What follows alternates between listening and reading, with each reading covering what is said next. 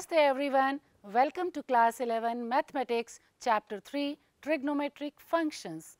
Today we will be covering trigonometry and introduction, application of trigonometry in various fields, trigonometry involving right angles, angles and their measurements, degree and radian measure as unit of angle measurement, relation between radian and real numbers. Now, what is trigonometry? If you break the word into trigon plus metry, where trigon is triangle and metry is to measure. So, trigonometry is measuring the sides of a triangle. As you all know, triangle has six parts, three angles and three sides. They are called six elements of triangle. If you know any of these two parts or elements, you can find rest of the elements. Now the question arises, why do we need to find these parts or angles? Though this subject was originally developed to solve problems related to geometry involving triangles. In earlier days, trigonometry was used by ship captains for navigation, for land surveys and preparing maps by surveyors, for construction and measurement of buildings by engineers, for estimating distance of stars and planets by astronomers.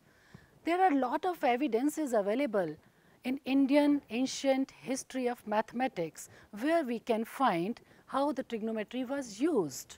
Currently, trigonometry is used in seismology, oceanography to find the heights of tides, in meteorology, designing the electrical circuits by electrical engineers, describing the state of an atom by chem chemists and analyzing the musical notes. So amazing, no? Architecture and civil engineering but obvious and it is used in medical imaging even for CT scans and ultrasounds. And trigonometry is even used in financial markets, economics and cryptography. There are many, many other fields where trigonometry is used. Let us recall some basic concepts that we learnt in 10th class. In 10th class, you studied trigonometry as trigonometric ratios of acute angles as ratio of side of right angle triangles. Let us consider a right angle triangle ABC, right angled at B. If we take one acute angle A as theta, then you must have learnt tangent theta is equal to opposite side upon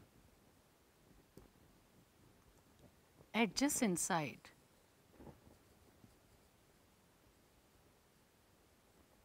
and sine theta equal to opposite side upon hypotenuse and cos theta as adjacent side upon hypotenuse and their complementary angles. Now, what are angles? Angle is a measure of rotation of a given ray about its initial point. If we consider a point O and a ray leading to A, this is initial side original ray and the final position of the ray after rotation. If it rotates anti-clockwise, it traces an angle like this this is called terminal ray which is revolving. Initial ray is stationary. Initial ray which is stationary and this is terminal ray. It keeps on revolving. Point of rotation is called vertex. Here it is O. Now angles are of two types. When a direction of rotation is anti-clockwise, see here, this is the initial ray, this is vertex and if we move anti-clockwise, angle traced is called positive angle. Now terminal ray is moving anti-clockwise like this, this angle is being traced in a positive direction, therefore this angle is positive. Now when direction of rotation is clockwise, see here, this is vertex, this is our initial ray and this terminal ray is moving clockwise as the minute or second hands of clock move clockwise, the angle traced is negative angle and this is positive angle. Now for measuring any quantity we need units and for measuring the angles also there are two commonly used units of measurements of angles degree you are familiar with it and other one is radians. Now what is degree measure? You all must have been using degree in your earlier classes for trigonometric ratios but what it is actually? If the rotation from the initial side to the terminal side is 1 upon 360th of an complete revolution, the angle is said to have measure of 1 degree. Uh, let me explain with the help of a diagram. Uh, if we take this circle and divide this circle into small parts, total revolution is divided into 360 parts and each part each small part is called 1 degree. This is 1 degree. To explain it further, if we consider this as a clock, we divide one complete hour into 60 minutes, 60 parts and each part is called 1 minute. Here the circle is divided into 360 parts and each part is called 1 degree. Now this 1 degree is further divided into 60 minutes.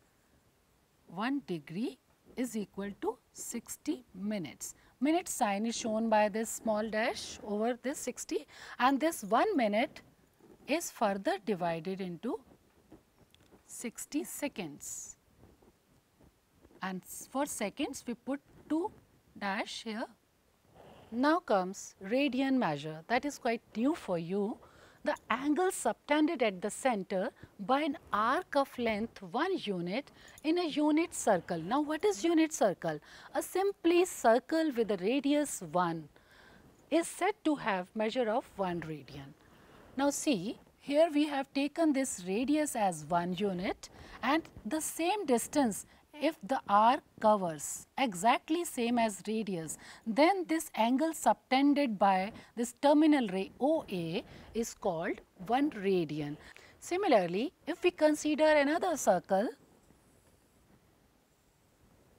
with radius 1 unit means unit circle, center is O and this is initial side and it moves and traces the length exactly 1 by half times of this radius, 1 and a half times of this radius, then angle subtended at the center is said to be 1 by 2, 1 is to 1 by 2 radian. Let us take one more example. Consider another circle, center O and this is O is the radius of one unit and if R traces the distance 1 and 2 exactly 2 times of radius then this angle traced is said to be 2 radians. Now we consider that R traces the complete revolution of the circle which is circumference. Circumference is 2 pi r here the angle traced is 2 pi r, but since the radius is 1 unit, if we replace it by 1, so angle traced is 2 pi radian. We have replaced this r by 1 because radius is 1. So, for a complete revolution, we can say it traces an angle of 2 pi radians. Now, more about radian measure. More generally in a circle of radius r, we are not taking here 1, if we are taking the radius as r and arc is again subtending the same distance that is equal to radius, so we can say this is again 1 radian because it is given as arc length